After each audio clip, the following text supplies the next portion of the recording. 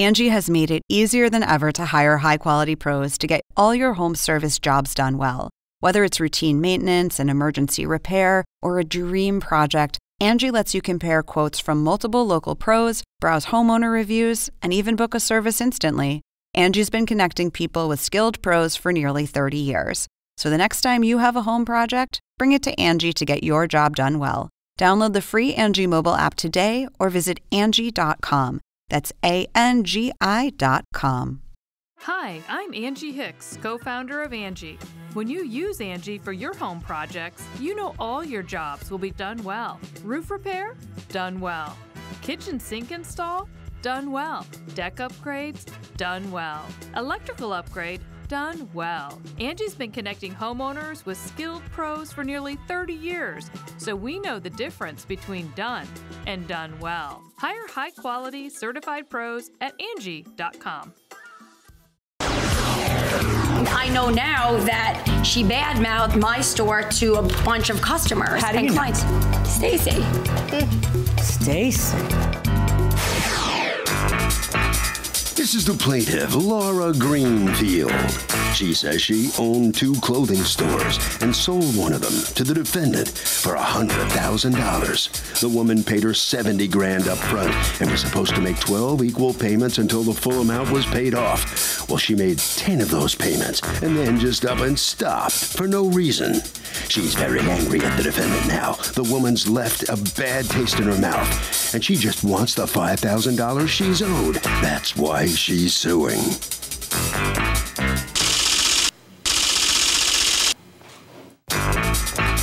This is the defendant, Lisa. She says the plaintiff promised to train and mentor her for a year after the sale, and the woman never helped her at all. She was way too trusting with the plaintiff. Feels like a fool now because she didn't get her end of the deal, and quite frankly, was conned. Oh, her? No way. She's accused of being two payments shy.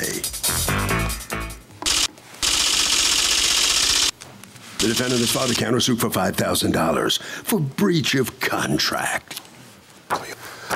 All parties, please raise your right hand. What you are about to witness is real. The participants are not actors. They are actual litigants with a case pending in civil court. Both parties have agreed to drop their claims and have their cases settled here before Judge Marilyn Milian in our forum, the People's Court. Be seated. Come to order, please. Litigants have been sworn, Your Honor. Thank you, Douglas. All right. Laura Greenfield, you are suing Lisa. You've asked us not to mention your last name and her boutique, which you've also asked us not to mention. For $5,000, you say you're out actually more than that, and uh, on a business deal that the two of you did, and you have a counterclaim against her for $5,000 for breaching that very same business deal. Okay. You go first. Tell me what the business arrangement was between you two, how you met, and what ended up happening. Okay. Um, I wanted to sell one of my two businesses. I own two clothing stores. Two clothing stores. Okay, Yes. two boutiques. And, Two boutiques. And what do you specialize in in these stores? Women's clothing and accessories. Okay. Lisa decided to buy my store in uh, September of 2014. All right. And as I understand it, you put down 70,000 and the rest was going to be monthly payments for a period of how long a year? 12 months, yes. Okay. And you and uh, part of the deal was that you were going to mentor her because you were new at this. Yes. I Had you ever owned a boutique before? No, Had you I- ever worked at one? Nope. Okay. How, so how did this come about even to begin with? It just was always my dream, and as soon as I saw, I was looking for a business, and as soon as I saw the opportunity um, and the advertisement that said in all caps, "You will not be alone," mentoring, purchase power. I have with me. Let me see that. Where did you see that online? online. Yes, and on the this, on the back of that page also. So, but it was always your dream to have your own business, or was it always your dream to have this business, like a, not uh, this one in particular, but a, a, a women's clothing store? Yes, but I didn't know how about to go about doing that. So This turnkey business comes with a fully trained staff. The new owner will not miss a beat. Will have the benefit of learning the business while making money. Okay. We so, then- oh, sorry. Oh, so, show, do you have the actual agreement that the two of you signed? Yes. we do. Can I I, also have can, some. I, can I have it from both of you? Because I want to be able to make sure we're looking at the same thing. And go ahead.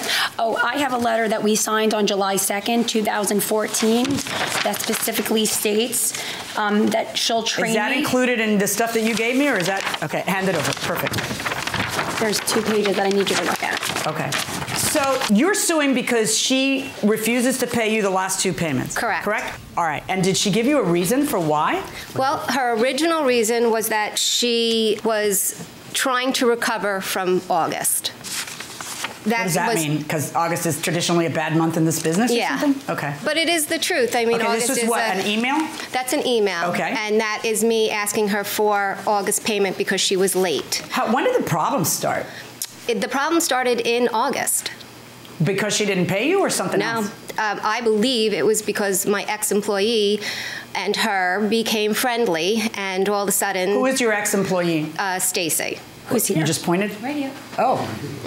So Stacy had been in your employ for how long? Uh, from November till Aug- uh, till September, actually, and um, gave me notice in the beginning of September that she was leaving. She said her husband no longer wanted her to work, and then uh, the next week showed she up. popped at- up at her boutique. Yeah. Okay. And, so um, Stacy starts working for her, and that's when you start having problems? Yep. Why? What was going on? The problems were going on much longer than that. okay. In August, after I spoke to Stacy, I just had the proof that she was sabotaging my business. How was she sabotaging your business? Well, part of the deal was that I bought a client list, and these clients were supposed to continue to shop in my store. However, as soon as I bought the store, they all started coming, going to Comac. I know now that she badmouthed my store to a bunch of customers How do and you know? clients. Stacy. Hmm.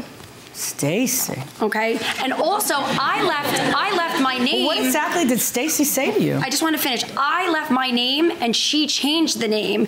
Little did I know that the name was did not have a good reputation. I have letters from creditors and vendors that I can't get credit lines. I can't get vendors to sell me because my name now is associated with this. Why don't you just change the name of the store then? I, I will at this point, but what is it she didn't do? How did she breach the contract? Okay, well, there was three ways that I believe she, I, that I know she breached the contract. First of all, she did not train and mentor me. I have three affidavits from employees that work there that said that they are the ones who had to teach me the computer systems, keep, teach me everything that went on the store. Every single thing that she was supposed to teach me, she didn't. What is your understanding of the agreement that she's going to take time out of her store and go to your store and work for you? Because that's not the agreement by any means. No, but she could come afterwards when she's when she's not working in our store and teach me how to do all of these things. Are you that- suggesting that she never taught you anything and she wouldn't answer your questions? She taught me some things. And the but- but staff she that you had there, isn't it staff that she had there, right? That that they were like there was con- continuity because that staff had been working there. Yes and no. Th- there were women that worked in her store. well, the ones that taught you she didn't had want any longer, so then she pushed them over to my store. How, how do you how do you conclude that someone who you end up employing was a reject of her store? That's what the manager and, told and me you that was also feel there. like she was giving you her reject merchandise. Definitely. How so? And I know this now. Who told you that, Stacy? Nope. Okay, who told you that? part of the part of the contract. Front and center, Stacy. Come on up. When I bought the store and paid seventy thousand dollars, it was supposed to be seasonal merchandise. Now that I've owned the store for a year. I see what is supposed to be there in September. You're getting ready for the winter. You you have fall stuff. So when I bought the store, two or three weeks later, I'm already putting stuff on sale at 50% off. Part of the deal was so that my store was turnkey, that I was going to be able to walk into the store and she had on order merchandise that was supposed to be sellable for September, October, November. But again, I'm a new So you were naive, and that somehow is her breach. That you, you know, what is it that you? Tell me what your merchandise was that you feel like you got hoodwinked here. bathing suit cover-ups, um, tank tops, Exclusively? shorts. Exclusively? I'm going to say uh, 80%. Okay, do you have any proof that the merchandise you bought was 80% bathing I have two affidavits from two employees that worked there at the time that said most of the merchandise was there from June, July, and August sitting Why there. Why your employees hate you apparently. Stacy. Do you want them, ta- or- yeah, I do want them. Sure. But apparently, uh, why is everybody tanking you? What, what, what is like? What's the deal? know what? apparently, everybody who wasn't your employee can't wait to ditch you. What's going on? I haven't seen the affidavits, but I'm a businesswoman. I employed employees, with the exception of Stacy. Everyone is a doll. Okay. I have well, what happened with. Stacy? Because you didn't fire Stacy. Stacy left you. Yeah, Stacy left me. Stacy gave me two weeks' notice. Said my husband doesn't want me Said to work. Said my husband does not want me to work. And then showed up at. The very next week showed up. Okay, but why does that bother you? Don't you want that business to thrive? Wasn't that part of it? You felt like she was going to a competitor. Yeah. Ah. So, Stacy, tell me, did you quit her store saying your husband didn't want you to work? I did quit, and it wasn't because of my husband, and I didn't show up. What- at what reason did you give her that you were quitting? What Just- reason? Um, Lisa was shorthanded coverage. I offered to work for her on a Friday. I told Laura. So, did you have something against her? Not at that point. I didn't. I did not have anything against Laura. When did you develop something against her? The day that I worked for Lisa, the other girl that was covering, she got very sick. She went to the hospital. So Laura got upset with me because I was covering for Plainview to help Lisa out. So I got a nasty text. What did the text say? Th- that is why we do not moonlight for Plainview. Okay, so when do you end up quitting?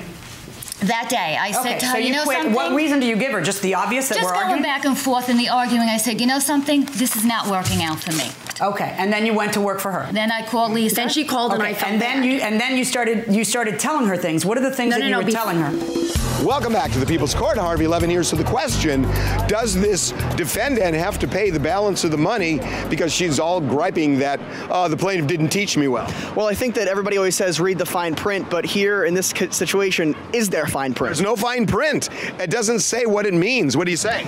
You know, this sound, sounds like this guy's just trying to not pay the money. You know, it's not fair. Except it's a girl. What do you say? They need to pay. I, is there any defense? You didn't teach me enough. Oh, I don't know. I just think you need to pay the money that you say you're going to pay. Uh, you're probably right in the end. Going inside the courtroom. Previously, before I actually went to work for Lisa, there was merchandise that we had ordered. It came into the store, and Laura didn't want it. Her response to me was send it to Lisa. Lisa didn't order Okay, it. stop a second and elucidate me. If you don't want merchandise that you order, can't you just send it back to the manufacturer? Right, but throughout the entire year, merchandise used to get transferred from her store to my store. So I would sometimes call and say, I don't remember ordering this, but she would say, No, you did. And I would always naively trust her. Then this one order came in, so I said to Stacy, I'm not accepting this transfer. I know I did not order this. This is not mine. And she um, said to me, I know, it's not yours. Send it back Because she here. felt bad. See, here's the thing. Everything in this case, both suits depend on you being right that there's a breach of a contract, okay? Not that she's a jerk. Not that, oh, she's she's so evil, she's not my good friend who I thought she was. I mean, you guys went on buying trips together and stuff, right? I have the dates, Your Honor. Just tell me how many trips you took. One, two, And give me the months. five, six, seven, eight, The months. nine. Nine. September, October, January, December, January, February, February, March, and April. Okay. Those are No. just That's at the in the city. I Excuse me. Excuse me. And then in-store appointments, November, July, July, How's Stacy July. answering that question? You see how Stacy answered the question? I don't Can even I- know how Stacy can I answer the submit this to you? Go ahead. Yeah. No, uh, what is that? That's just your typewriting Yeah, on a I piece of paper. I I, don't did- want I that. disagree. She, Okay. You claim that you didn't take all those trips? No, right, but see, not. Other than Stacy coming in at the almost at the end of the year and telling you she would give you things that you did, you know, that she didn't like. Or, do you have any documented proof that you would call her and she wouldn't respond?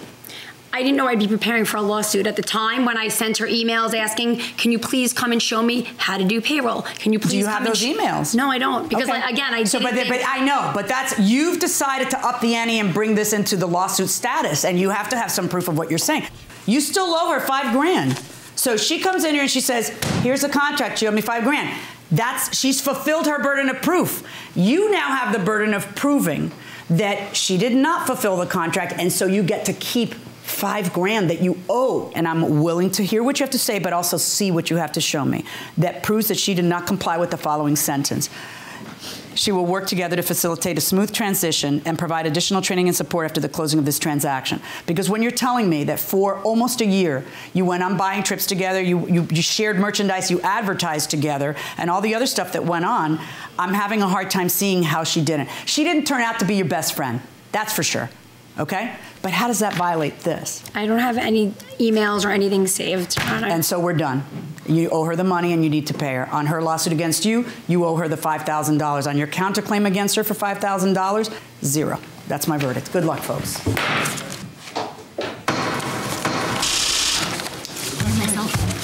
And so the defendant comes out, you just didn't have the proof to back up what it is you're claiming. So what's your reaction to how this judgment comes down? I'm obviously disappointed with the verdict, but I'm glad that I had my day in court, and hopefully others can learn to not be so trusting people. Mm, Stacy, were you the big problem that caused the whole rift here? I wasn't the problem. Laura started this. Mhm. A lot of employees left her and went to other locations. Hey, this was your dream. You said this was your dream. How, how is it still your dream? Yes. Right? And Yep. you're going to make it work? Yep. All right, good for you. Thank Okay. you. All right, head right down this way. Good luck. All right, so while she's talking, you're not even looking, Al. You're, are you looking away on purpose because you don't want to even look at her?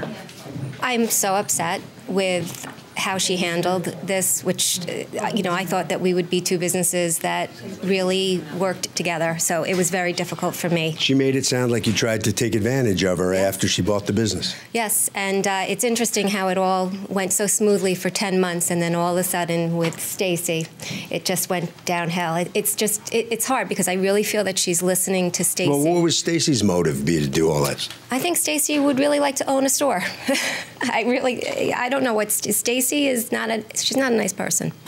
It's unfortunate. All right, Harvey. You know, when you make a deal with somebody, you know, it's the situation is is pretty simple. Read it over and then say, is it vague? If it's vague to you in any way, it's going to be vague to the judge. Spell out specifically what each obligation is. And that will do it for this case. Litigants for the next case on the way into the courtroom right now. Hi, I'm Angie Hicks, co founder of Angie. And one thing I've learned is that you buy a house, but you make it a home. Because with every fix, update, and renovation, it becomes a little more your own. So you need all your jobs done well. For nearly 30 years, Angie has helped millions of homeowners hire skilled pros for the projects that matter. From plumbing to electrical, roof repair to deck upgrades. So leave it to the pros who will get your jobs done well. Hire high quality certified pros at Angie.com. This is the plaintiff, Wayne Van Hoos.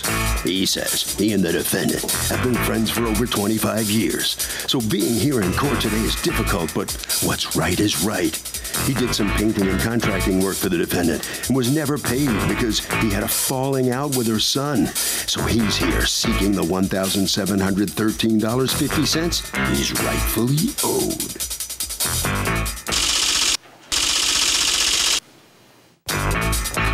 This is the defendant, Sylvia Cardona.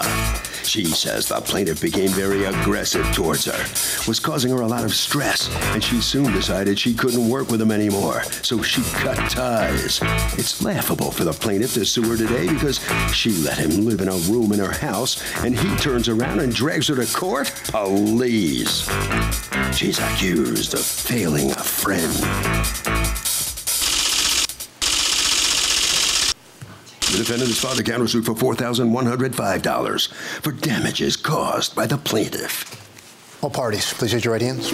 Welcome back to the People's Court. Next case in the docket. These litigants were friends for a quarter century, but the plaintiff says the defendant stiffed him on a contractor's job. The defendant says that she let him live in her house. So, really? It's the case of the contractor who got nailed. Thank you, Douglas. Wayne Van Hoos, you are suing your former friend Sylvia Cardona for costs associated with renovating an apartment she rented to you, and you are counterclaiming against him costs associated with bringing it back to the way it was before he was there.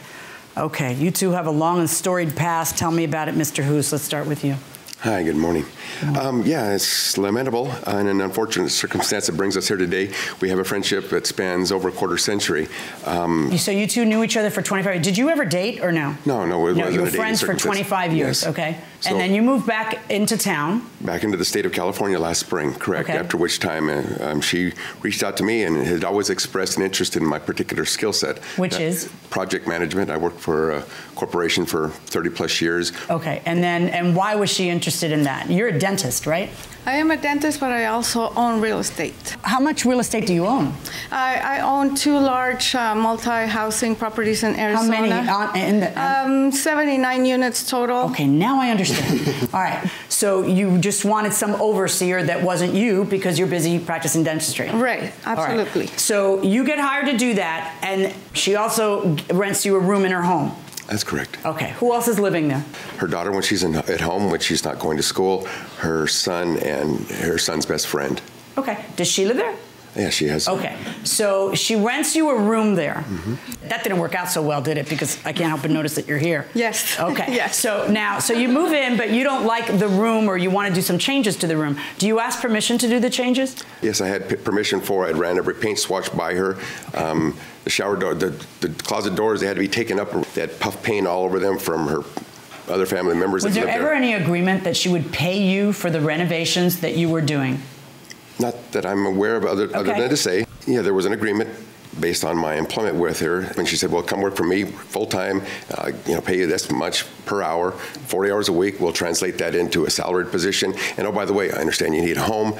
Um, I have this. Um, here's the rent, $300 a month. Uh, happy to have you in home. And we'll 300 a month? Yeah, it was great. Okay. And so, and then the office would be established downstairs. So the commute would be from upstairs to downstairs. Oh, and then you got to work right out of the office in, uh, an office in the home? Yes. All right, so you end up painting, for which you want to be reimbursed about $200. You bought bathroom accessories. Are you referring to plumbing fixtures? There were no towel rods at all. The room was bereft of any of those things. So I bought a towel bar. Okay, but who was paying for all these things? As I put it forward to her every time I would make these investments, I said, you know, hey, it's great. Thank you for the opportunity to work with you, to live in your home. You give me a great rate. Based on the four and a half, five years, I don't have. Do you have a four and a half, five year lease?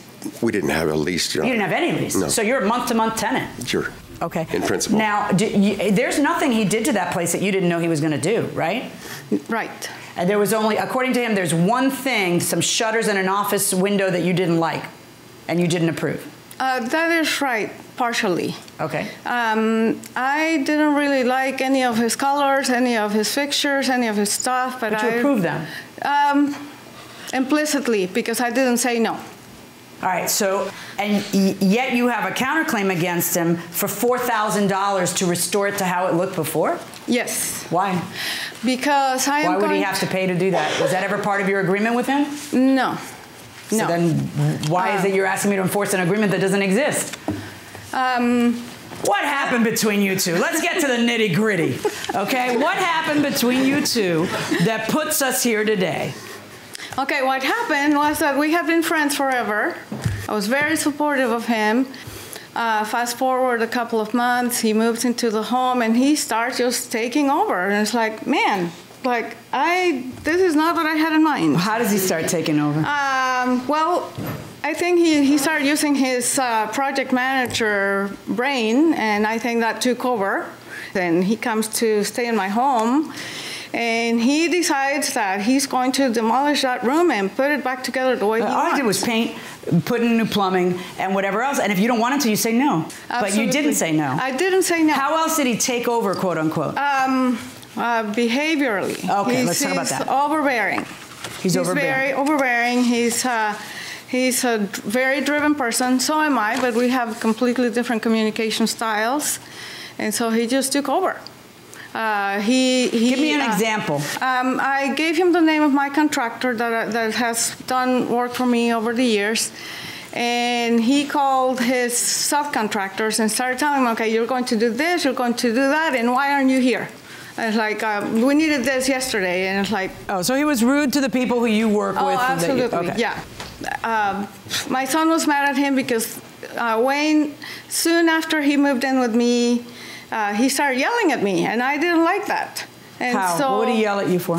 Uh, when, when we would be at the business meetings, we had financial planning meetings every week, and he would disagree with something, and he would just start yelling. So my son got mad at him one Was your son at the meetings? Yeah, he was. uh, My, my son is also my business partner. Okay. So he was at the meetings, and he told him, "You are not to speak to my mom in those terms." Okay. And Did uh, you ever tell him, hey, who do you think you are? You don't talk to him like that. I'm the I- boss.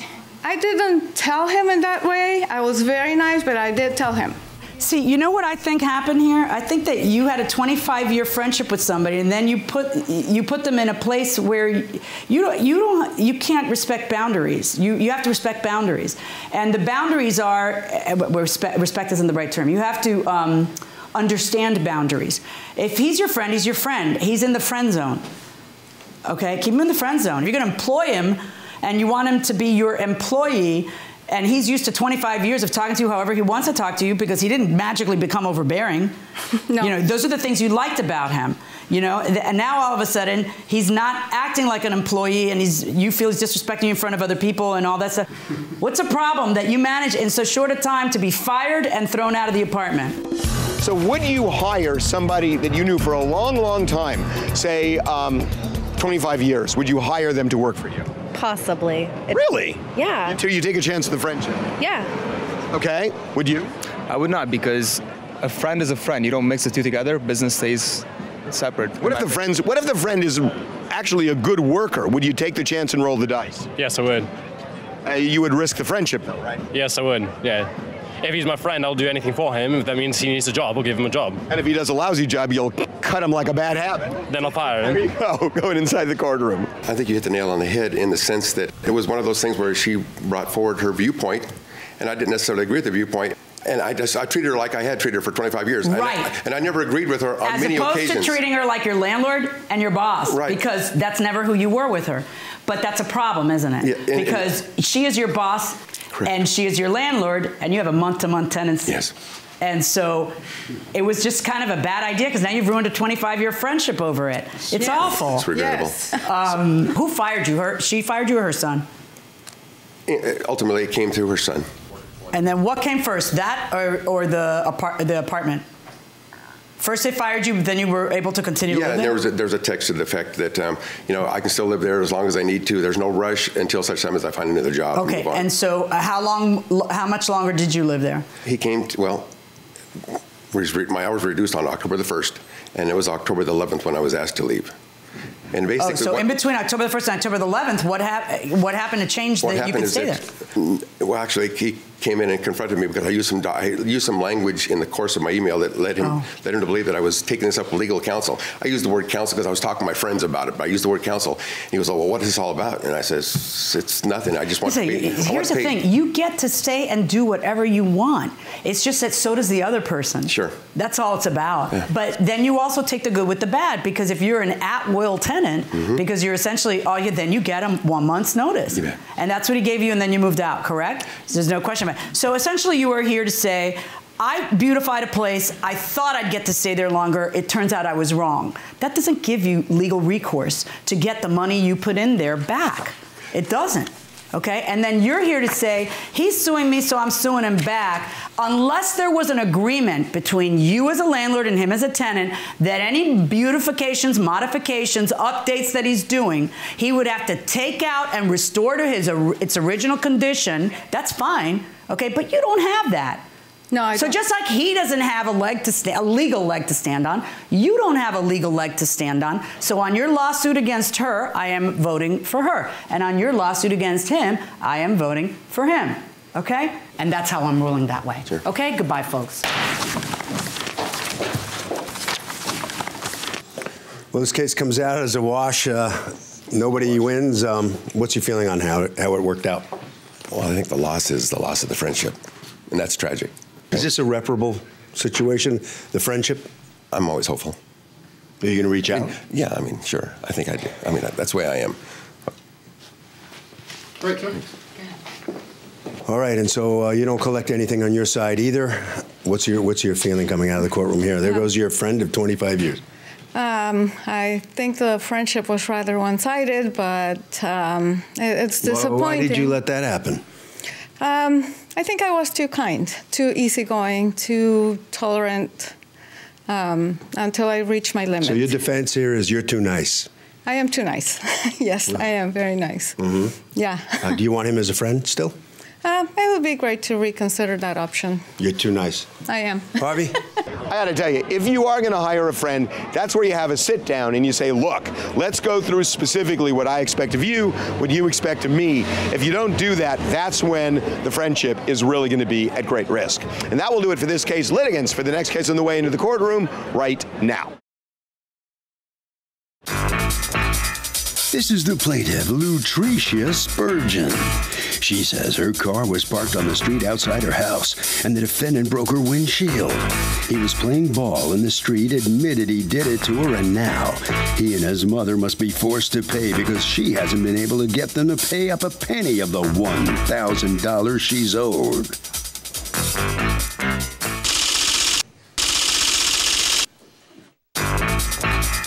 These are the defendants, Sharice and Wayne Teak Wilson. Wayne Teak says he was indeed playing ball in the street, but the ball never ever hit the plaintiff's windshield. He has no idea how the windshield broke. They aren't about to hand out their hard earned cash for something they didn't do, and in turn, owe nothing. They're accused of not scoring with a neighbor.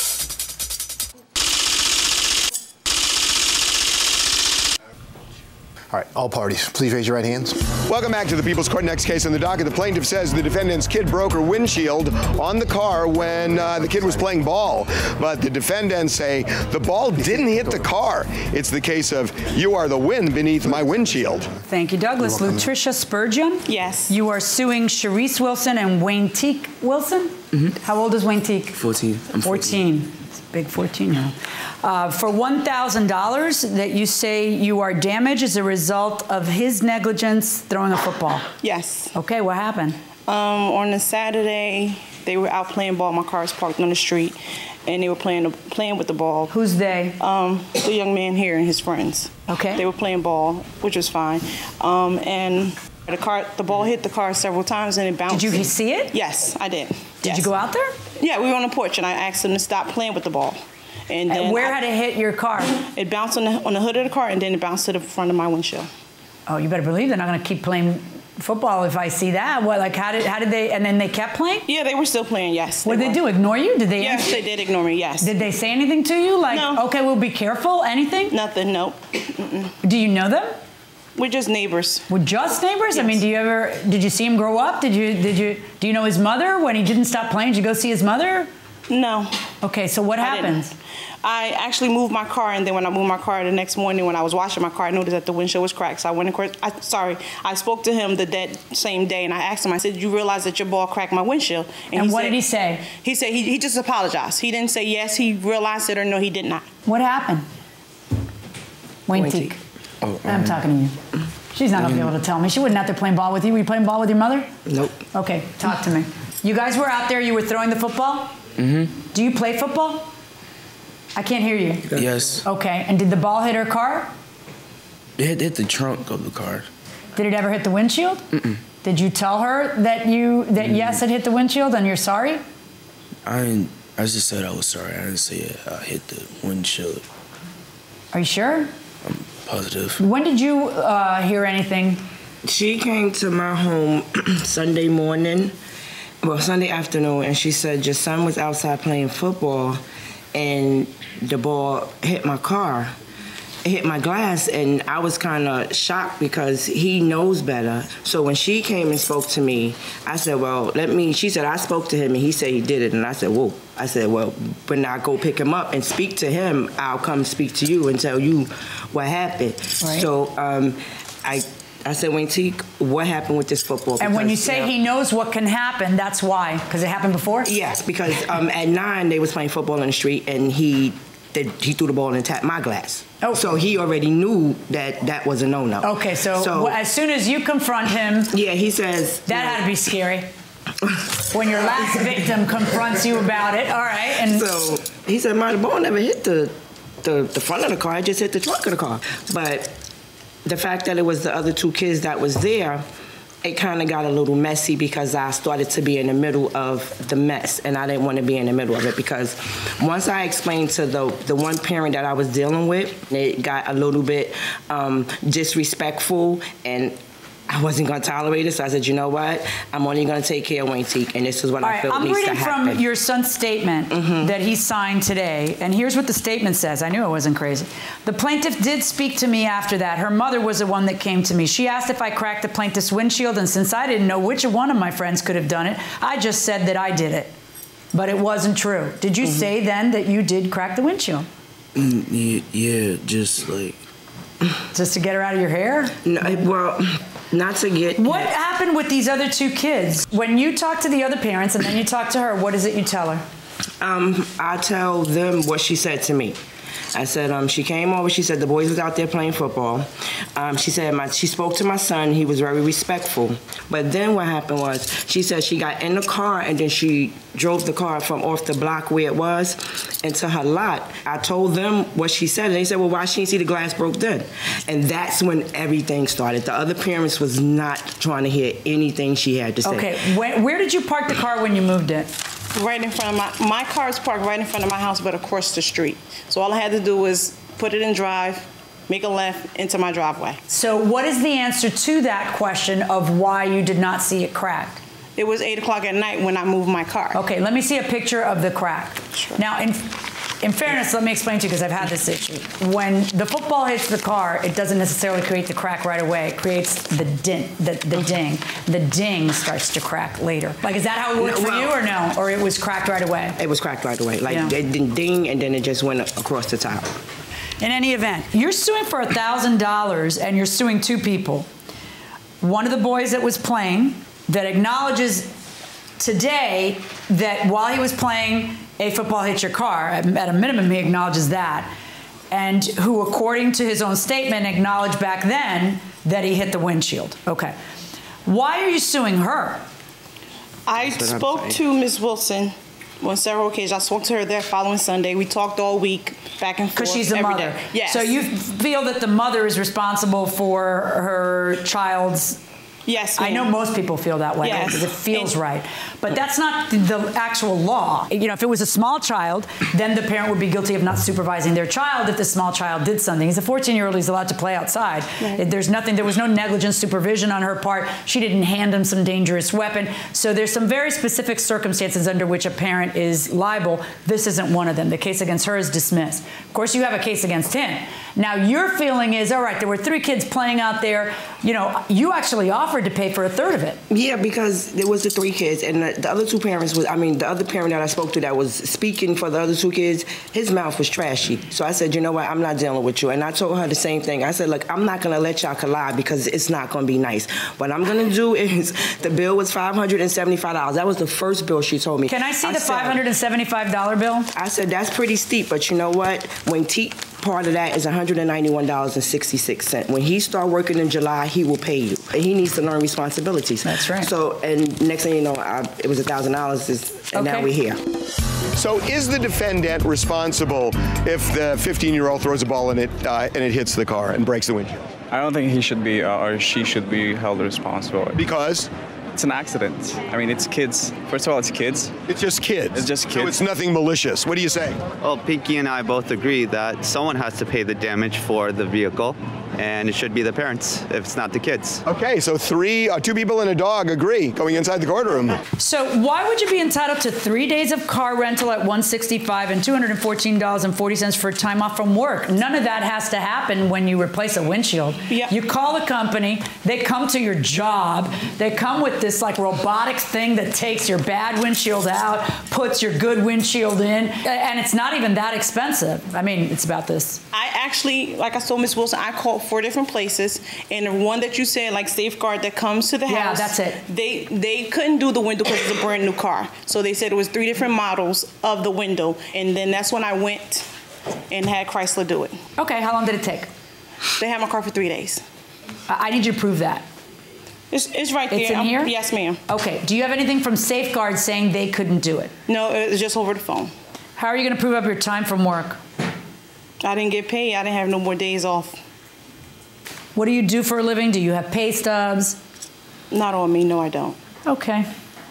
You're not entitled to time off from work because you haven't brought me any proof of that. You are entitled to, apparently, that is exactly how long it took for them to fix her car, which is crazy, but I can't imagine you would do it that way if you hadn't, in fact, explored the safeguard option. Um, therefore, you're entitled to $730. I understand in your mind that, hey, there were three guys out there. Why would my son, you know, I'll pay my everything. You acted very morally like a good mother does. You really did. And I'm, I, I, I need to tell you that because I don't see it enough Oh, in my courtroom. And I'm so happy to see it today. Thank you. Stop putting your mother through this by playing a football. Okay, it's an accident. I'm kidding. It's an accident. Okay, but you do have to take responsibility for accidents. When you're playing around there, it's the three of them acting in concert. It's what we call joint and several liability. That's what gives her the right to, to pursue one person.